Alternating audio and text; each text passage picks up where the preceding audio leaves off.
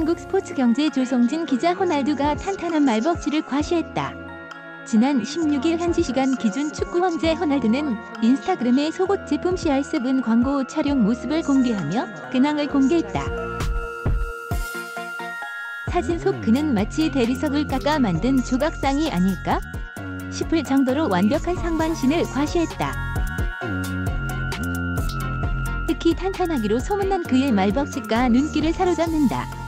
호날두와 소통 중인 팬들은 진짜가 나타났다. 왕 중의 왕, 완벽한 몸매라고 말하는 등의 반응을 보였다. 한편 호날두가 소속된 이탈리아 세리에 A 명문 유벤투스와 K리그 선발팀은 오는 26일 금요일 오후 8시 서울 월드컵 경기장에서 친선 경기를 했습니다.